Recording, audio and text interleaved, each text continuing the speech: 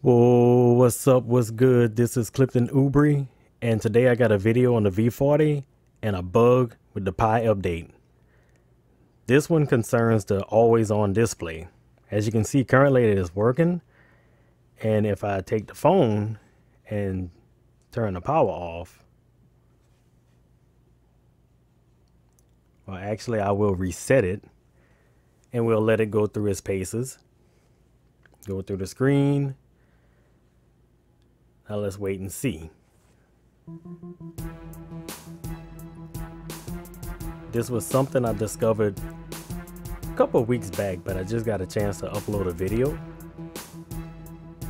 So here we got it a few seconds away from being fully restored and back up and running.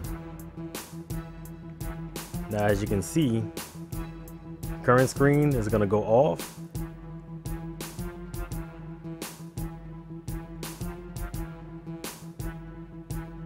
no always on display.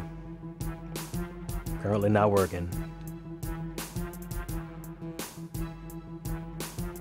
So what I will do is go through the settings and every time you reset or turn off the phone, this is actually something you will have to do. Go on the display and as you can see the always on display.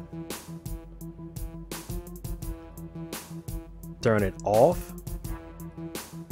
Turn it back on. Click the button there. And what you would have to do is just delete at least one character or something and done. Save it. Back out. And if I get off the screen is back up and running. A little time consuming. Some people may not like that being an issue, but it's not too bad. So that is the way to fix it.